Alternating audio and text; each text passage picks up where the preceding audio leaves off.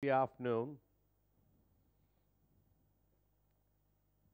And they're away and they're racing for the opening race of the afternoon, which is the Division 2 of the Hunt for Gold Plate.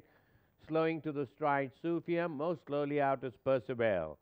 And as the field settles down, it's a Blazing Bay in the center, the leader with a thousand to go. Marcella joining up on the outside toward the inside in the green and brown is between friends.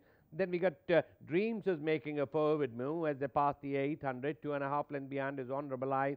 On the outside is Lagertha in the yellow and blue is about four of the fence. Onward Dancer in the center in the blue and white. Then about the 600. After that is Percival. Sufia is a close last is a hedge turn for home. Round the turn and into the street. Blazing Bay comes in on first. Is about two and a half lengths in front of Marcella. Dreams is uh, trying to make a forward move on the outside. Between Friends is ladling on the far side. And Lagertha is the one coming up with a dazzling run on the stand side. But Blazing Bay about a length and a half in front of Lagertha is uh, galloping strongly up on the outside. Onward Dancer is uh, flashing on the scene far too late. But uh, Lagertha is going to be on the outside. Lead by three quarter. Lagertha gets it from Blazing Bay. Tied for third.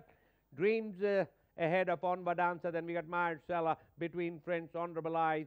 Then we got Sufia, second last. Last of all is Percival.